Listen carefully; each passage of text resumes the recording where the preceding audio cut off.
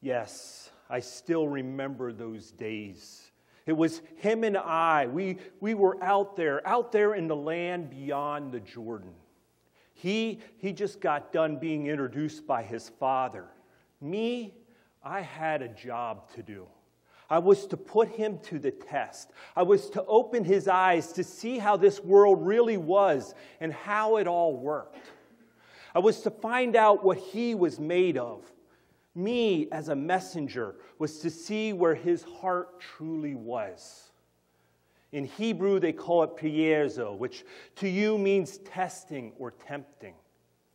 Just like Moses used it in the book of the law called Deuteronomy. The Lord your God is testing, peirazo, you to find out whether you do love him with all of your heart and with all of your soul.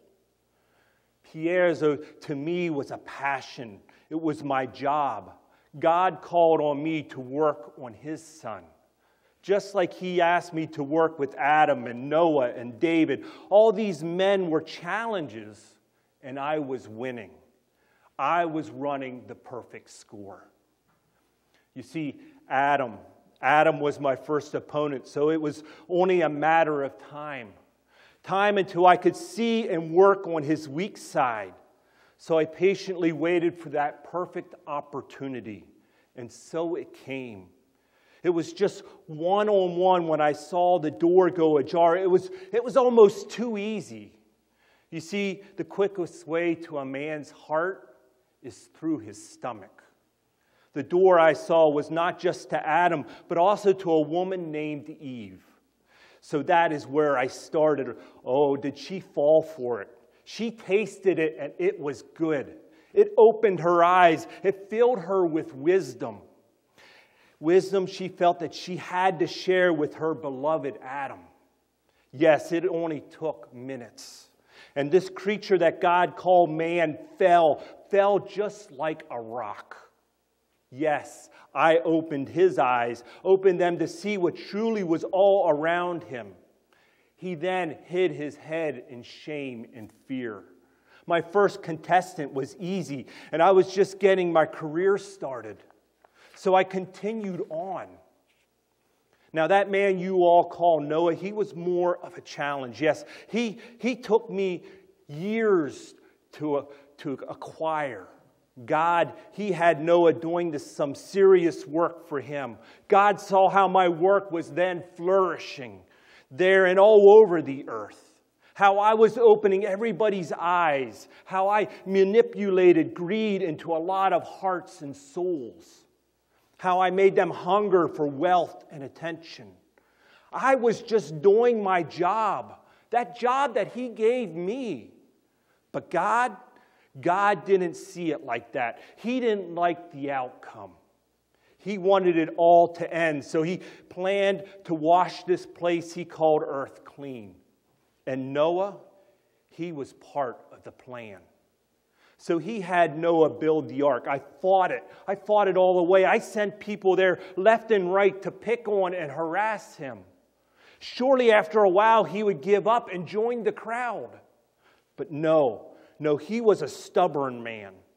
Then one day it did happen. The sky turned black and the rain began to fall. Till God the Father washed away all my fun.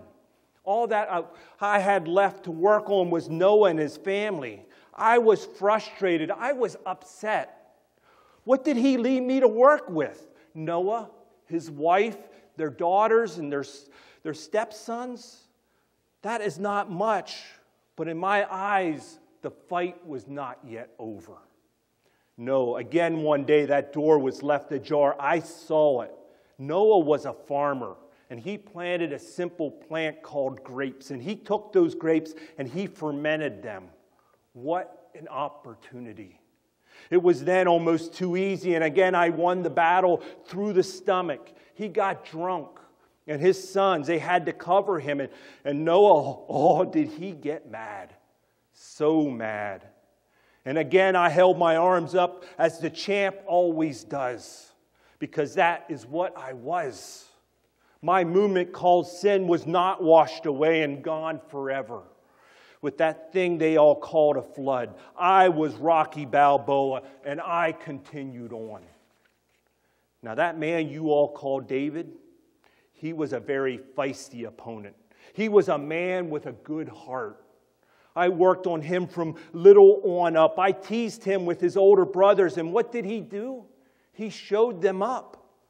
He showed them up that day that when they ran from that man I sent, that man everyone called Goliath. Not David, though, no.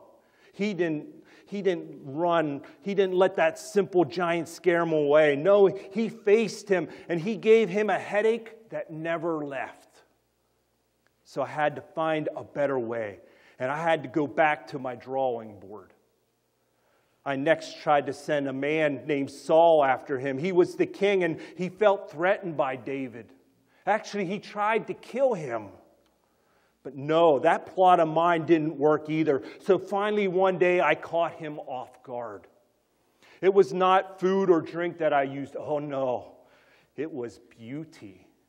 You see, he saw her up on that rooftop. His guard instantly fell down. And after that day, he was no longer even a fight.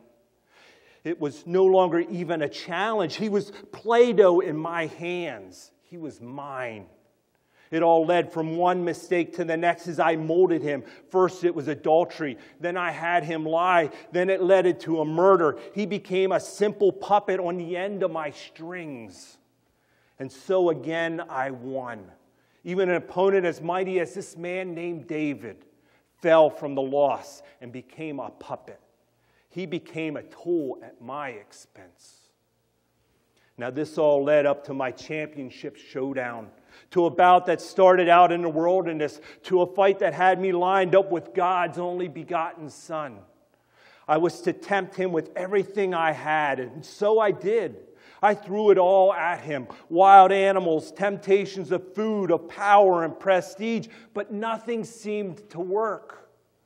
It was the boxing match of all boxing matches. Every day I came out of my corner throwing my left and my right at him, but he blocked every one.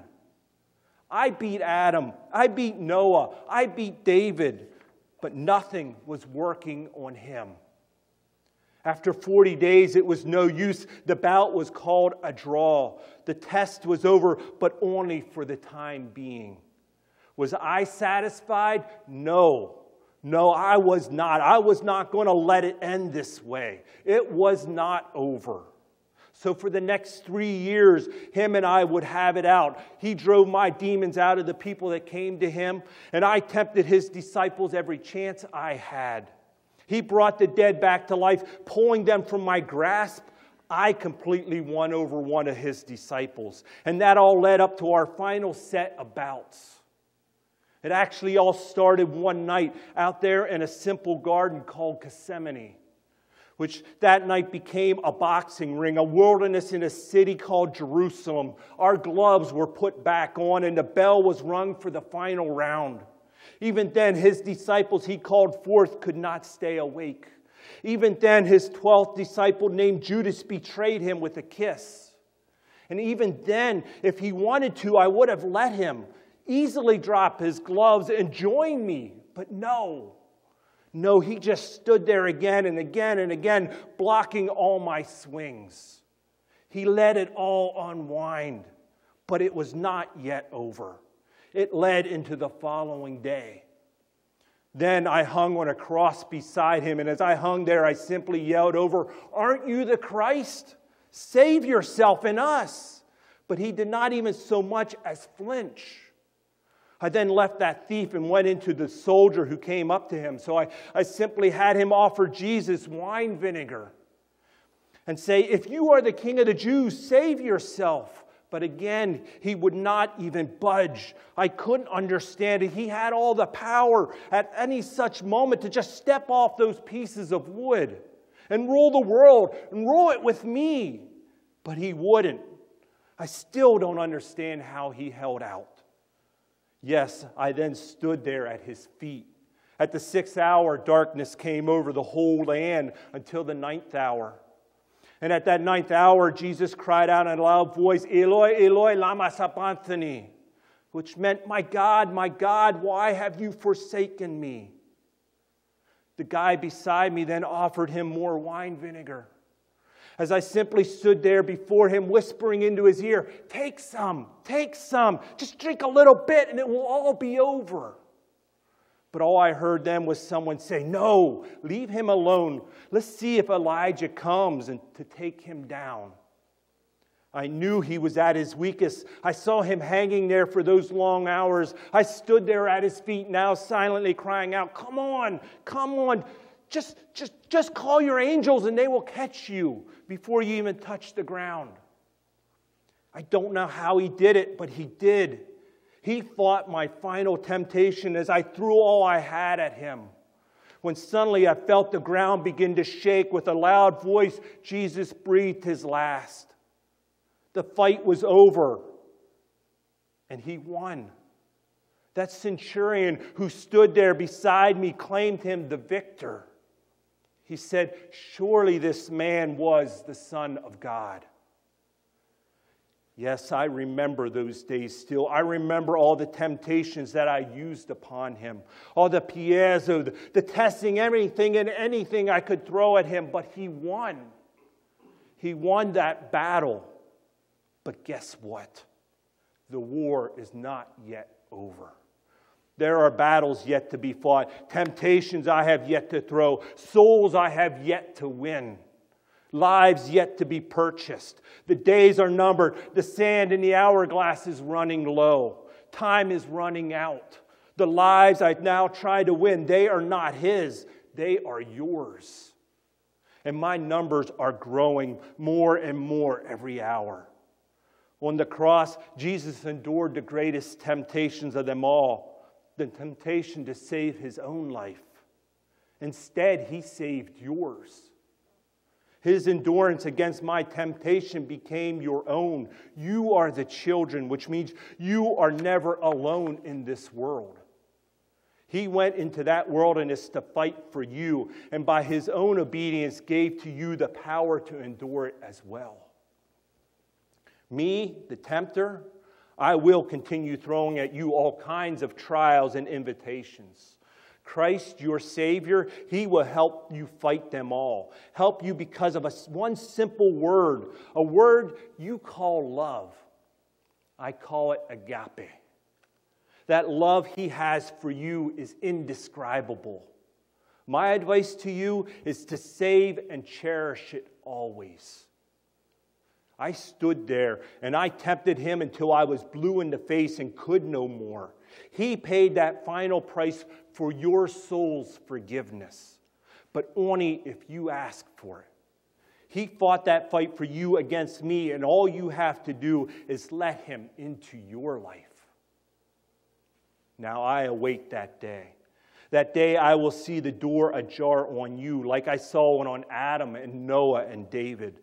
Christ's door, his is always open. I see that now. He holds it open for anyone to accept, anyone to reach out for him, for his mercy, for his grace, for his love, for his forgiveness. His door is the invitation open to any who wish to step through it into his loving arms and his life giving blood, his blood which is full of grace and mercy. Yes, I will continue on. I will search for those who refuse to hear his calling, his loving gift. I do, however, fear that day. That day when he returns. That day the trumpet will sound and the war will be over and my days here will be no more. Then all who know him will be called home and there will be peace at last. A peace I can do nothing about.